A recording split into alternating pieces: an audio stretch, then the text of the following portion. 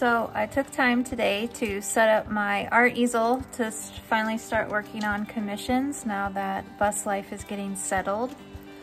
See, here's our bus right here. We are parked on the back side of a barn and we have now been on our bus for six months and it was quite the transition, but I'm ready to start getting on to other things. And here is um, my art space. So our bus is right across the way so that this directly out here is our kitchen area and dining tables right there in that window. So we can look over and see what I'm working on. Everything I got picked up, someone either gave to me or found it on the side of the road. So I am ready to start painting this new commission piece.